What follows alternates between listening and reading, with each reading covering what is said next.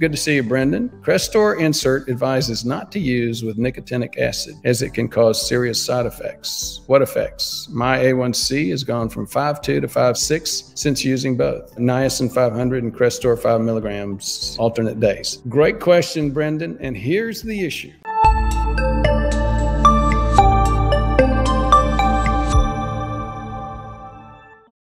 Both of those. Nicotinic acid, by the way, for those of you that don't know, is niacin. And Crestor, most of you should know that that's a statin. So both statins and niacin have a, a side effect of increasing insulin resistance. And that's typical what you've just described there, Brendan. Now, a lot of people say, well, therefore, I don't want to take a statin or I don't want to take niacin. I don't recommend people take a statin or niacin unless they really need it. Now, when do I recommend a statin? If you have plaque, if your body has already formed plaque in the artery wall. At that point, it's really clear your body's struggling, it's making plaque, and it's now at risk for heart attack and stroke. When do I recommend niacin? I've got over a dozen videos on niacin. Niacin's a big debate. There's several issues with it. I remember taking my first trials of niacin back in my 40s, and I was in church one day, and I had taken the niacin a couple hours beforehand. I felt like somebody was scalping me, just taking my whole scalp. And that's what happens. Niacin has a reputation for causing flushing. It does that due to a thing called a prostaglandin. Here's what happened. At that point in time, and it still does, niacin has a great reputation for doing several very positive things. We've talked about the insulin resistance, we've talked about the flushing, but here's what we didn't talk about. Niacin is the only thing that increases HDL, decreases LDL, decreases triglycerides, decrease LP little a. There's very positive things that come out of it. Now, other folks would say, and a lot of docs feel like, oh no, that was disproven. Here's how and why that was disproven. There was a trial called the HPS2 Thrive trial. I think that was the one. That may have been another one, but they put lapropiant. I think it was Pfizer that did this. Put lapropiant in niacin. Now, why would they do that? The lapropiant stops